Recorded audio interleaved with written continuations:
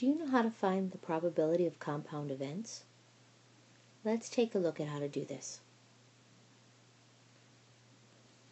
Two independent events are going to occur. One is going to be the flip of a coin. The second is going to be the roll of a dice. What is the probability of flipping heads on the coin and of rolling a 3 or a 4? That's a great question. Let's use the probability of compound events to figure it out. First, we have to figure out the probability of flipping heads. Well, there's only one possible outcome that's favorable out of the two possible outcomes. There's one chance of getting heads and one chance of getting tails, and there's only heads and tails as a choice, so the probability of flipping heads would be 1 out of 2. Now, the probability of rolling a 3 or a 4 is two favorable outcomes, the 3 or the 4, and on a single die, there are six possible outcomes.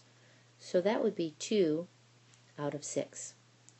Now, to figure out the probability of the compound event, we're going to put both of these together. We're not going to add them, we are going to multiply them. 1 half times 2 sixths. Now, you'll notice right away that we can simplify. 1 and 1. So the probability of this compound event is 1 out of 6. What about if you had a deck of cards? Let's say you have a deck of 52 cards, and you want to know what the probability is of choosing a 4 from that deck, of choosing two cards from the deck, and that both of the cards that you choose will be a 4. That's the probability that you want to find out. So let's think about how to do that. First, the, there are four fours in a deck. So there are four, and I'm going to put a comma, and then we'll put four fours in a deck of cards.